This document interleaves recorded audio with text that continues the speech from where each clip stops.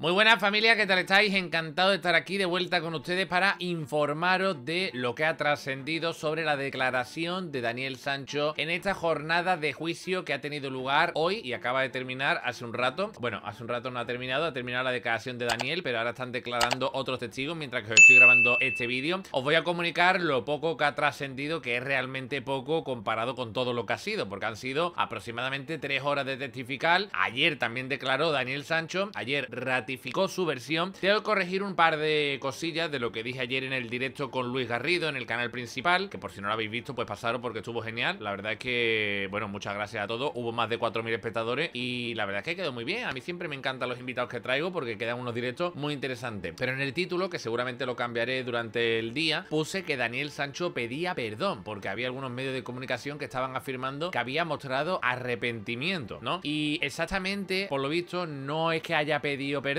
sino que básicamente pues ha dicho que lo lamenta mucho, que siente mucho lo que ha pasado, pero no que pida perdón, sino que, bueno, que ha sido un accidente y que, y que lo siente, que se siente culpable por haberlo hecho, pero que casi sin querer y que, y que, y que lo está pasando mal y que, hombre, que si volviera a trapo a lo mejor no lo hubiera hecho. En fin, eh, no es un perdón como tal, ¿vale? Ayer estuve hablando con Luis y, hombre, sí que es verdad que el arrepentimiento puede servirle en el juicio, pero claro, no puede mostrar un arrepentimiento cuando él se está declarando inocente del cargo de asesinato con premeditación. Él sigue manteniendo que fue una pelea, ¿vale? Que Ewing intentó violarlo, que además tuvieron ahí como un forcejeo en el que Ewing le muerde la mano y él, al darle el golpe con la cabeza, pues le da un mal golpe eh, con el lavabo y con la mala fortuna para Ewing de que, de que muere, ¿no? Y que luego se pone nervioso y cuando el cuerpo está frío, ¿vale? Que eso es una pregunta que seguramente se la habrán hecho hoy, que cuando el cuerpo está frío, que esperó a que el cuerpo estuviera frío para empezar a descuartizarlo, ¿no? Que esto es básicamente para defenderse de que lo haya descuartizado estando vivo todavía, ¿no? Que es una cosa que se discutía. El cuerpo no... Esto lo estaba hablando con Triumph y el cuerpo no, no puede estar frío en una hora. El cuerpo, un cuerpo para que esté frío al tacto, por lo visto, yo esto no lo sé, me lo ha dicho Triumph porque yo de esto ni idea. Eh, no he tenido nunca la ocasión y espero no tenerla nunca, pero por lo visto el cuerpo está frío a las 7, 8 horas como mínimo, ¿no? Y bueno, pues Daniel sigue manteniendo su postura, un intento de violación del que se, dependió, de que se defendió. Eh, aquí tenemos una, una última noticia del día de ayer, que también la estuve comentando con Luis. El tribunal descartó pruebas porque pasa la línea de custodia, es decir, estaba contaminada ya, ¿vale? Se trata de un cuchillo que primero desapareció del bungalow, no lo encontraron, pero luego cuando lo encontraron, sí que le hicieron las pruebas de ADN, por si acaso lo, lo aceptaban a trámite, ¿no? En el juicio como prueba, pero bueno, estaba contaminado. Tenía ADN de Ewing y tenía ADN de Daniel, aunque tenía ADN también de una tercera persona. Entonces, mmm, pues lo descartan. A mí, a mí la verdad que, hombre, sí, está contaminado porque seguramente alguien lo toqueteó y lo cogió y lo quitó en medio, pero bueno, tiene ADN de los dos. A Ewing no le dio tiempo a juntarse una tostada, las cosas como son, ¿no? Y menos la hora que era. Eh, además hablan, además hablaron también ayer de que cuando él eh, se pone a descuartizar el cuerpo, lo hace en un estado disociado, ¿vale? Eso es lo que dice hoy el perito. Lo que va ahí hoy a decir el perito que va. Van tres testigos, son mmm, dos peritos españoles, en concreto, en concreto, en concreto, un psicólogo y un médico forense. Y también hay un testigo más que lo acaban de decir, ¿vale? Y es otro psicólogo, ¿vale? Iván Velasco. Yo realmente esto lo hemos estado hablando durante, esto,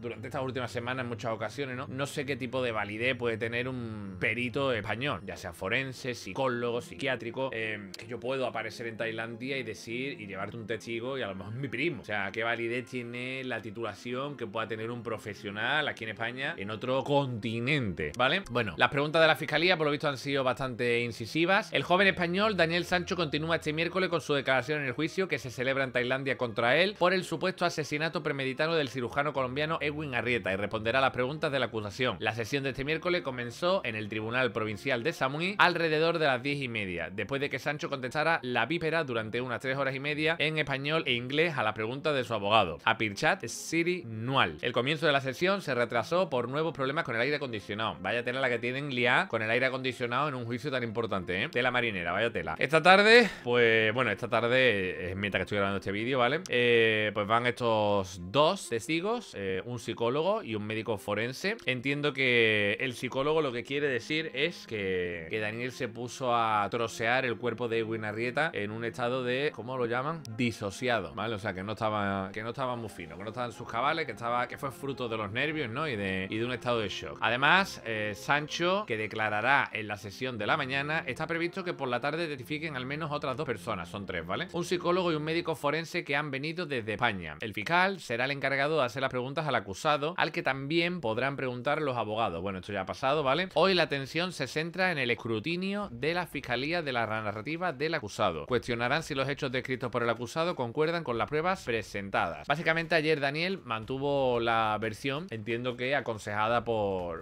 el equipo, ¿no? El equipo jurídico que, viene capitaneado por Marco García Monte. Y la versión es la de... Se fueron a Tailandia a disfrutar, ¿no? Y bueno, pues por lo visto cuentan. Es que esto no ha trascendido, claro, es que estamos hablando de tres horas que no ha trascendido, pero bueno, a ver si en las próximas horas sabemos algo más. Pero por lo visto ha entrado en profundidad a contar eh, todo lo anterior al viaje, que entiendo que ahí estaremos hablando de la relación que tenían, si había ese acoso, que yo me imagino que Daniel habrá mantenido, que amenazó a su familia, que había un acoso que no le dejaba dejarlo, aunque se fue con él a Tailandia, y que, el tema del dinero, ¿no? También se habrá estado debatiendo ahí, si Edwin le dio dinero, si él no se lo quería devolver. Veremos, ¿no? A ver si eso se filtra. Yo espero que eh, sepamos más, porque la verdad estamos con cuenta gota con la información. El letrado que podrá hacer preguntas a Sancho y luego también ha ido contando la pelea, que ha mantenido la versión, lo que os acabo de decir, se defiende de una violación y le pega un golpe sin querer, ¿vale? Y luego lo, lo, lo en un estado de shock. Y luego también ha ido contando lo, de, lo del día después, ¿no? Eh, cómo se deshace, que el tórax no sabe por dónde la ha tirado, que no lo recuerda, que se deshizo del tórax. Bueno, del tórax junto con, con una maleta Louis Vuitton donde estaba la documentación de Edwin, ¿vale? Eh,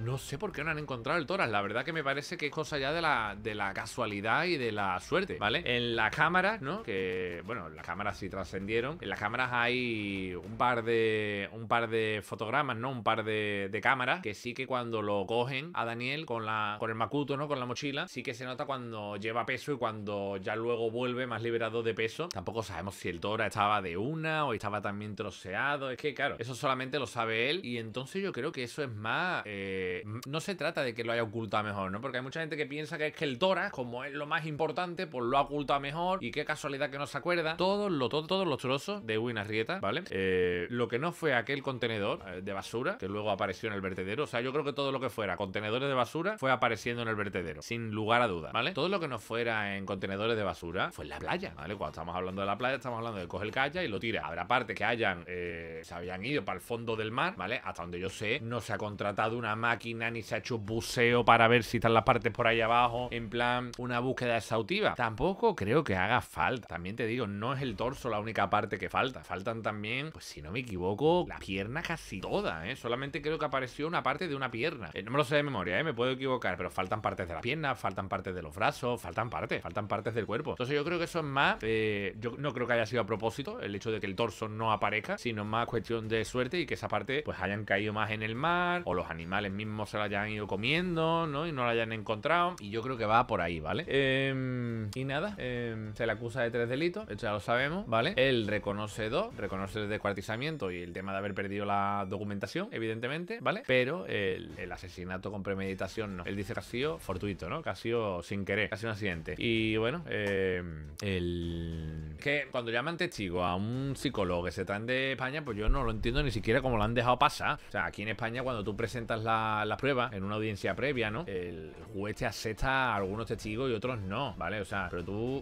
eh, que, que, tú lleves aquí esto para perder tiempo, ¿no? Mm, es que no tiene sentido, es que no es ningún tipo de testigo, es que eh, es un, es un, ya, ya no te digo porque es un psicólogo que no sea de allí, ¿vale? Que de aquí, que este hombre ni estaba, que testigo es, que sabe cómo actuó Daniel. O sea, es que ni estaba con Daniel, ni estaba los, ni, estaba los días antes, mientras que es que no tiene sentido ninguno. Familia, os iré informando de lo nuevo que salga, ¿vale? Intentaremos esta noche estar por aquí, al pie del cañón, os mando un beso enorme y chao, guapos. Si te ha gustado el vídeo, dale al botón y suscríbete a nuestro canal de YouTube.